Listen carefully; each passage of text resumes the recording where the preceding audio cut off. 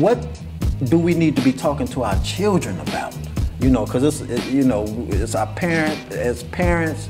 You know, uh, many parents. I'm not gonna say all parents, but many parents. You know, they just letting their children. You know, bring these guns in their house. You know, uh, they not checking their rooms. Uh, they bringing drugs in the house. They getting high with their parents. You know, so what what do we really need to be talking to our children about? That self-love and self-knowledge is is key.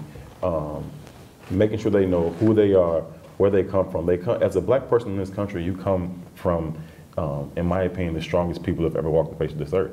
They came to the shores of, of, of West Africa and took the biggest and strongest they could find. The biggest and the strongest of those people were able to survive the transatlantic slave trade. And then the biggest and strongest of those people were able to survive slavery once we got here.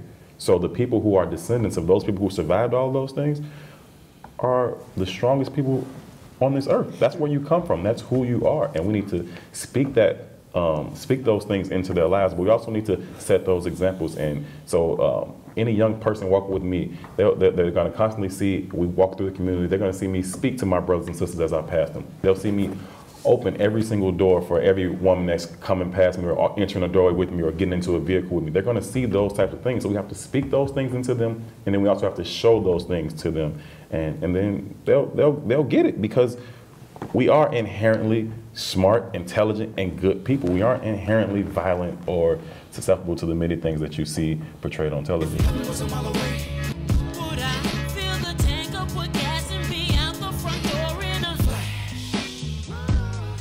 reconsider it.